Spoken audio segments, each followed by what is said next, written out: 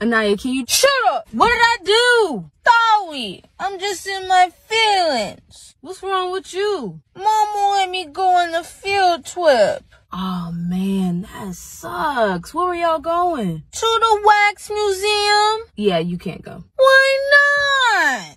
Last time we went, you knocked over one of the wax figures and peed on it. He was looking at me funny. He was a clown.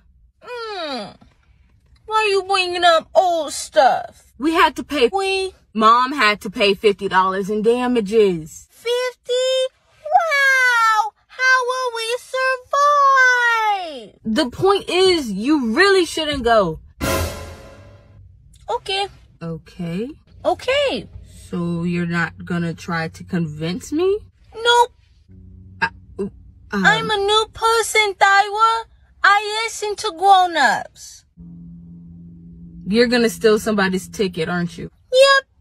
And remove their tongue if they say something. And I Shut up!